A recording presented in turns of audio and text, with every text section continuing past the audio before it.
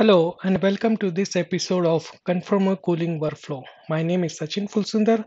I'm a simulation specialist at Autodesk India Private Limited. So before I get and started on explaining on to the workflow on conformer cooling, want to give a brief upon what does conformer cooling is all about. So this clears a little bit concept about the conformer cooling. Is its conformer cooling channels are of any shape close to the uh, to the part surfaces. They just follow the like an part profile to extract the heat uh, better than the conventional one. These are usually generated by laser uh, selective laser melting process. Uh, of course, there are other different processes also also available in the in the in the in the market.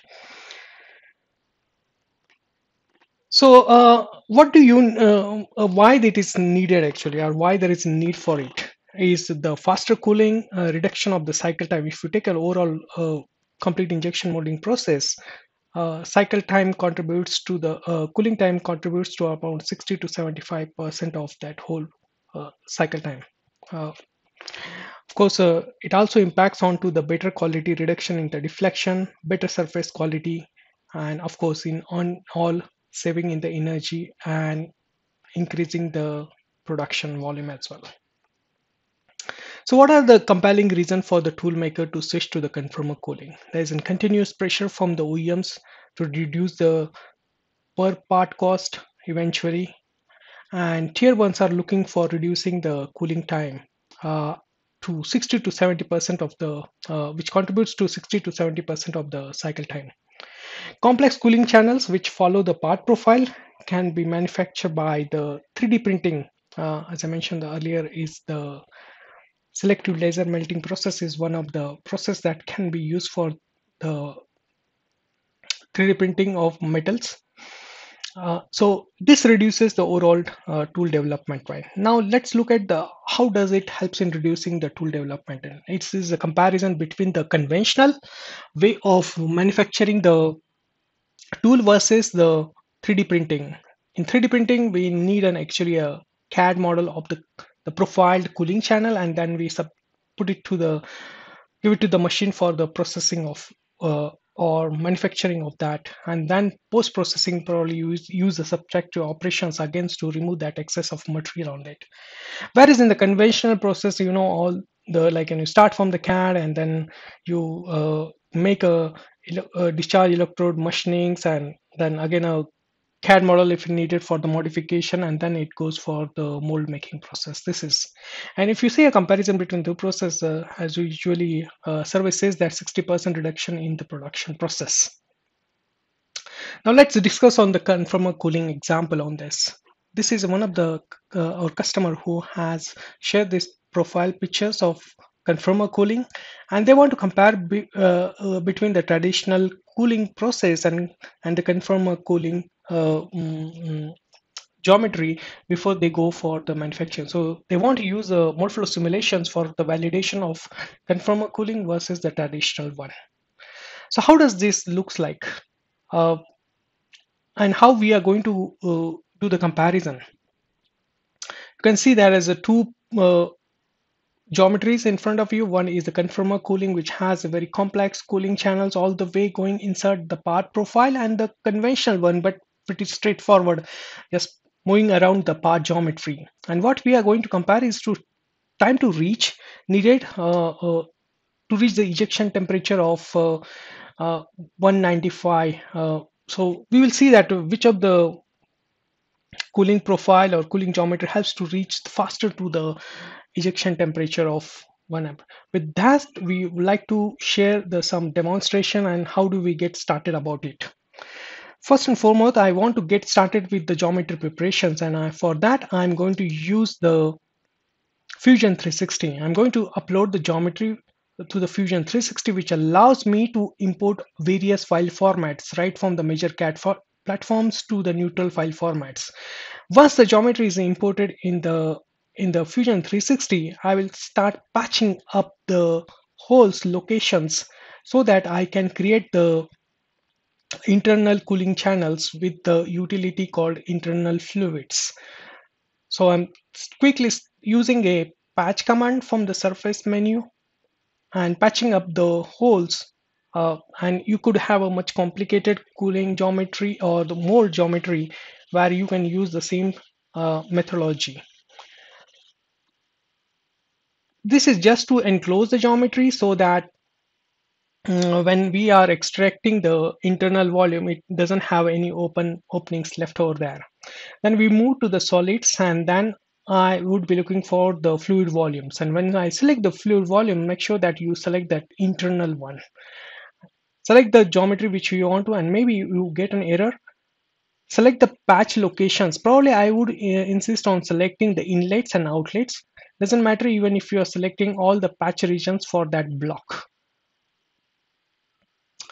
and it works very fast. Just on one click it creates the internal uh, geometry. I would prefer creating the you know internal cooling channels in the fusion 360 this will avoid a lot of surface area provided than you getting it from the third party cad solutions. Now we will go to the much uh, detailed one the complicated cooling channels that are passing all the way to the co part cores or the core with the with the separate insert.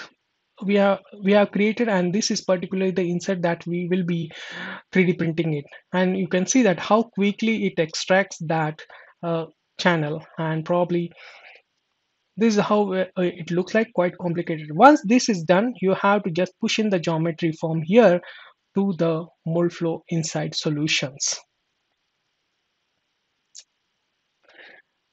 Now let's look at the how the analysis setup uh, is all about I have created and the pushing the geometry from Insight. I'm into the Insight solution now. We'll be importing that geometry. You Need not to follow that process. If you're importing the geometry or exporting the geometry directly from Fusion 360, it will get into the Synergy automatically, but you have an options to save as a step file or so as well. The first and foremost save the thing is to change the attributes of the mold to the 3D block.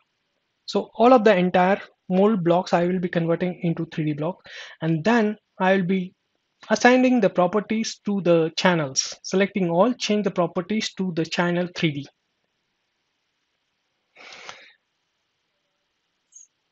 and once this is done I will start assigning the uh, you know boundary conditions but before assigning the boundary condition I can select the analysis type as the cool FEM fill pack warp or anyone can select as a cool cool FEM as well.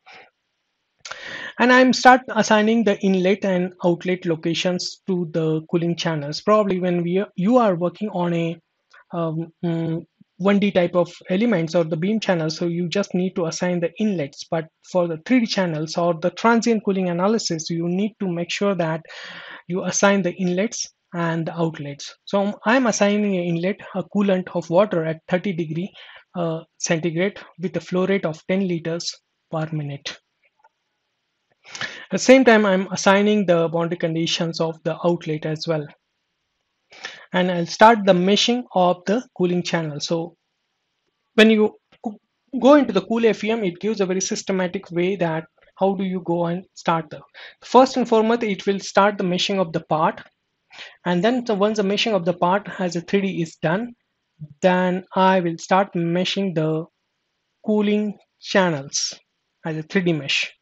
Make sure that your cooling channels are visible when you are meshing for that. Pretty fast it does it. And once the meshing is completed, I have completed. And then the next step is to create a 3D mesh for the mold. This process is pretty much very similar to the transient cooling, except in the transient cooling, we can use the 1D element as well uh, for the dual domain mesh. Here, everything when you're working on a conformal cooling, everything needs to be in 3D, including the cooling channels. So I'm just making the global edge length for the outside mold surface little bigger than the default. Probably this will help you to reduce the number of elements that's on to the outside of the mold let's create outside of the mold and once the meshing is completed and pretty much you are ready to launch the analysis and you can select the required material that you want to try the analysis. In this case we will be selecting the material which has the ejection temperature of 195 and this is where we would be doing a comparison between the conventional and the conformer cooling channel. And we are putting it automatic as an ejection criteria would be to reach the what time would be needed to reach that 195 and will be running as a transient cool analysis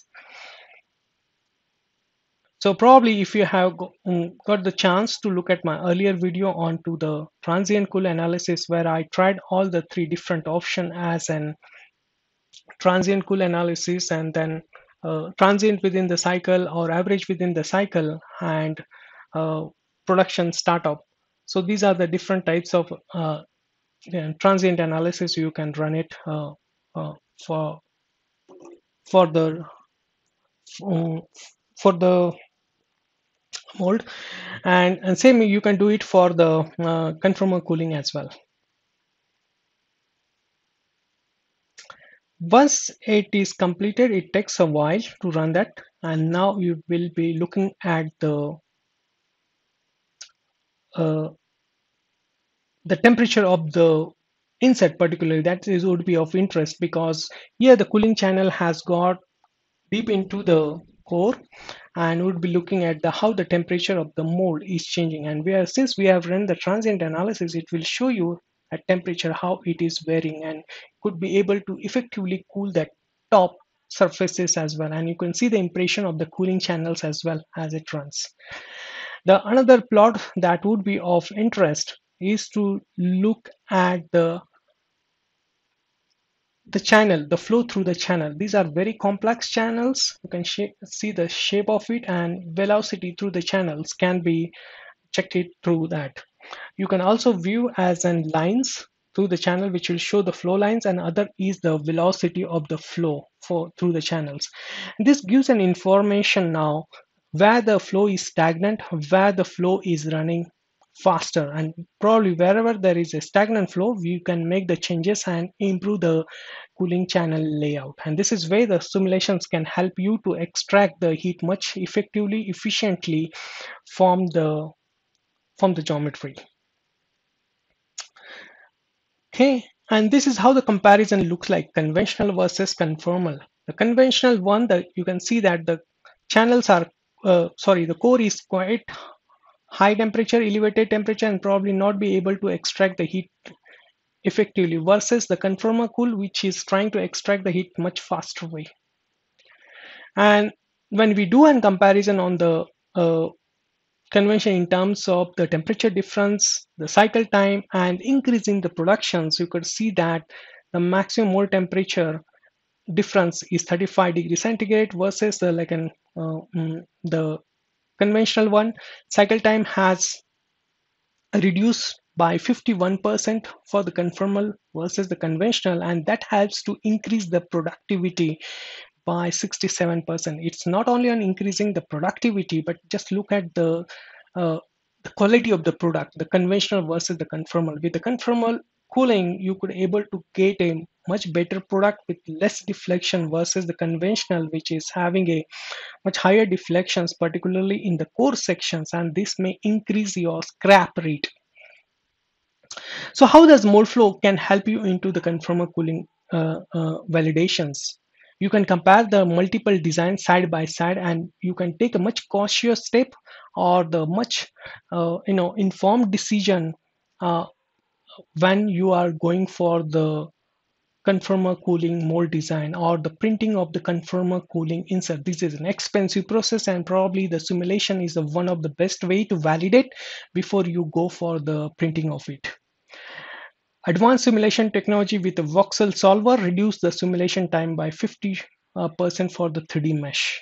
And this is, uh, we, we tried doing it with the earlier uh, simulation as well, what we For 1D element supported transient analysis, which I showed it in earlier video, uh, so the customer having a even the Insight standard can also run the conformer cooling and I make a statement over here the channel has to be modeled with 1D element Insight standard doesn't support for the meshing of the 3D channels. If you have a 3D channel, very complicated one, which cannot be represented with the 1D element, then it has to be represented with the 3D channels. And then you need an Insight premium license to run the conformer cooling for the 3D channels. And the another option is these are like an quite an uh, uh, you know computer in uh, compute intensive process probably Moldflow Insight uh, solutions uh, with the power of the cloud computing can help you uh, you know reduce that computation time and launch multiple analysis at a time provided you opt for the cloud compute and that is on the cloud credit basis. You have to buy the cloud credit separately for it. As we discuss on to the all the mm, you know advantages but there are some challenges that tool makers are facing as well. Many of the tool makers doesn't have a metal 3d printing capabilities in house the outsourcing of 3d printing is, is more preferred by the tool maker than in-house manufacturing it's an expensive tool uh, machine and probably the most of the tool maker may not go for the 3d printing for each and every tool Though the conformer cooling insert for more efficient cooling and reduction in cycle time, traditional is preferred. That ease of manufacturing, no need of the specialist skill set, and volume of the conformer cooling insert mold does not justify the in-house investments. So, so as discussed as a you know the advantages i thought of putting it from some of the challenges as well i'll not call this as a disadvantage but the challenges and over the period of time when the 3d printed uh, you know technology or additive technology will gain its popularity soon it, this process will be becoming more economical and i'm sure that each of the tool maker will have in-house 3d printing capabilities on skill set as well Thank you for your time. I hope you like these sessions. If you need to have more such sessions, please feel to reach out to Autodesk team. And if you need a more detailed information, please reach out to our specialized SIM resellers or SIM partners in your region. Thank you for your time.